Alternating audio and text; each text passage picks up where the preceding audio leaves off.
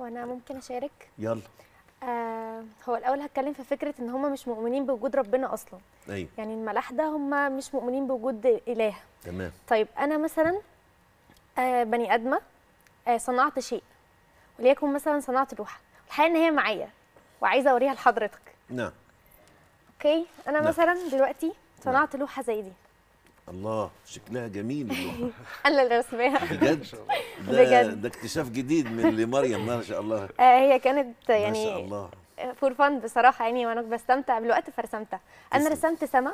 رسمت هلال رسمت نجوم لونت السحاب بالألوان ال- الوردية اللي بتدل على الربيع طيب. طب أنا استلهمت ده منين من أيوة. الطبيعة مم. طب أنا صنعت ده مم. ده ده حاجة أنا صنعتها منتج مم. طب يا ترى الطبيعة اللي أنا استلهمت منها دي مين صنعها طب بلاش الطبيعة نعم. اللي أنا استلهمت منها ده. مم. هنتكلم عن مثلا أنا. مم. أنا بقى اللي صنعت ده. مين صنعني؟ أنا جيت لوحدي. طب مين اللي كان السبب في وجودي؟ فالحقيقة إن أنا لقيت آية كانت معبرة جدا عن سؤال زي ده. كان ربنا سبحانه وتعالى بيقول آه وفي أنفسكم. ألا أفلا تنظرون؟ أفلا تبصرون؟ أفلا تبصرون؟ أنا نعم. آسفة. نعم.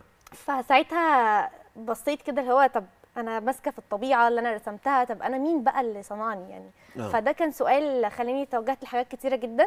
ولما سمعت تجربة يوسف آه، عرفت إن لأ آه، كان كويس إن أنا دورت كويس إن أنا عرفت إن ان أنا موجودة إزاي. فده كان بسبب حاجة آه، عن إن ربنا مش موجود أصلا. طب مريم وضحت لنا رؤيتها في الخلق والإيجاد.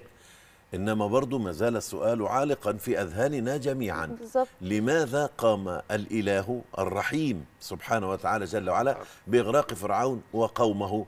أليس من الممكن أن يكون أحد هؤلاء ال- الذين أو أحد هؤلاء الغرقى له فرصة أخرى في أن يؤمن ويسلم إلى آخره؟